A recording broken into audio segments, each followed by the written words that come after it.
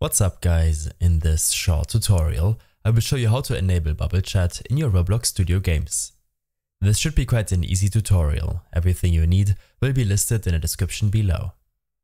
First, navigate to your Roblox profile. Here select creations and click on the creation which you want to edit. For your creation, click on the burger menu on the top right and select edit. This will open up Roblox Studio and it will load up your creation. After a second, select to playtest your map. This could take a second to load into your world. Here, make sure that your Game Explorer window is enabled under View, Game Explorer. Expand the chat workspace and make sure to copy the client chat modules folder. You can use the shortcut Ctrl and C or right-click the folder and select copy.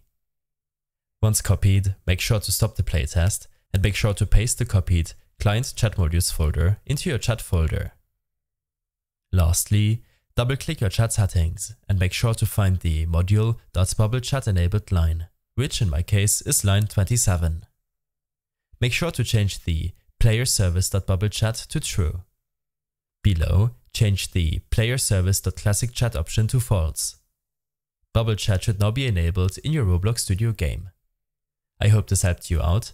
Leave a comment if you have any questions and see you in the next one.